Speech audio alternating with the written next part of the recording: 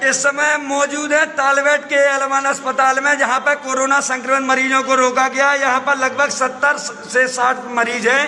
ये देखिए आप, सारे बच्चे इनमें बहुत छोटे छोटे हैं। कल से इन्हें पानी पीने को नहीं मिला है। वाटर कूलर बंद है। यहाँ के कर्मचारी कहते हैं, मैं डॉक्टर नहीं हूँ सफ़ाई कर्मी हूँ। डॉक्टर कहते हैं, मैं इंचार्ज नहीं हूँ। इंचार्ज कहते हैं, मैं सीएमओ नहीं हूँ। सीएमओ कहते हैं, मैं डीएम नहीं हूँ। लेकिन यहाँ पर प्यास से मर रहे हैं। इनको कौन आप लोग देख रहे हैं? देखिए ये छोटे छोटे बच्चे हैं। मेरी आवाज़ चार दिन से चिल्लाते चिल्लाते मेरा गला दब गया है। मुझे पीने को कल से पानी नहीं मिला है। ये बच्चे बेटा पानी कब से नहीं मिला? कल से। आपको पानी कब से नहीं मिला? किसको पानी नहीं मिला? पानी नहीं मिला? यहाँ पे वाटर कूलर बंद है। किसी को भी कल से पानी नहीं मिला है। ये सारे लोग हमारे हिस्से का भी पानी पी रहे हैं। बाहर जाते हैं तो कहते हैं एफ़ आई आर लिख देंगे।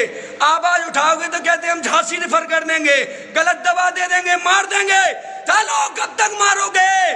कब तक मारोगे? अभी आवाज़ जब तक निकलती, जब तक आवाज़ उठाएँगे। डीएम साहब से पाँच बार शिकायत और सीएमओ साहब से पल पल शिकायत कर रहे हैं। लेकिन फिर भी ये बच्चे छोटे छोटे प्यास से बिलख रहे हैं। योगी सरकार, ये जंगल राज मिटाओ, बंद करो। क्यों अत्याचार ये कोरोना से पेशेंट मर रहे हैं? ऐसे ही पेशेंट मर रहे हैं कोरोना से। ये बेचारे भूख प्यास से ये बिलख रहे। चार चार साल, दो दो साल के बच्चे हैं। दो दो दिन से इन्हें पानी नहीं मिल रहा। सालों क्यों मेरे हिस्से का पानी पी रहे हो? इन बच्चों के हिस्से का पानी क्यों पी रहे हो सालों? भ्रष्टाचारियों जंगल राज खत्म करो।